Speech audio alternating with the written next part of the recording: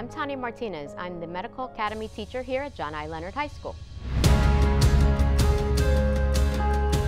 Proud to be a teacher because I inspire kids to follow their dreams. The students get tremendous opportunities. They get five different certifications. I think it prepares the kids to be nurses, doctors, or firemen. Do something they love and do something that's positive, that's going to help their community.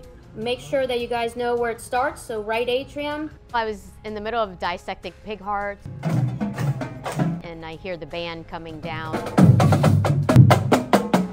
We are, we are here today because Miss Martinez is a school district Thank a Teacher of the Week, so congratulations. It really is inspiring to see someone like yourself putting in this effort to prepare our community to be safer and better.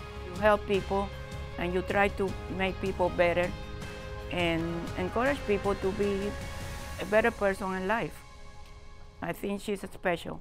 I love my job. Having my son Jonathan here at school, just hearing what he has to say.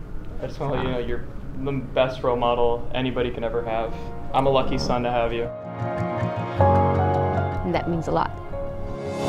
Hey,